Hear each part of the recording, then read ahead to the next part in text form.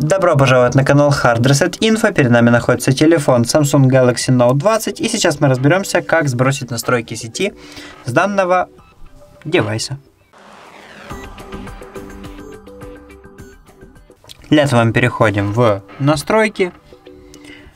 После чего идем немного вниз. Вот прям почти полностью вниз. Переходим в общие настройки. Спускаемся здесь тоже вниз. Нажимаем на предпоследнюю функцию сброс. И здесь скидываем э, параметры сети. Нажимаем сброс параметров сети. Сброс настроек. Подтверждаем это дело графическим рисунком, если он у вас есть. И нажимаем сбросить. Таким образом, все настройки сети, э, Bluetooth и Wi-Fi будут сброшены. На этом все. Спасибо за просмотр. Подписывайтесь на наш канал и ставьте лайки. До скорых встреч.